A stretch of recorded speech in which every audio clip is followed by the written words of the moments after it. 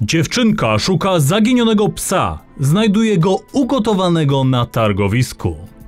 Dla jednych pies to najlepszy przyjaciel, dla innych to całkiem niezła kolacja. To zdjęcie pięcioletniej dziewczynki i jej psa poruszyło wiele osób i szybko obiegło sieć.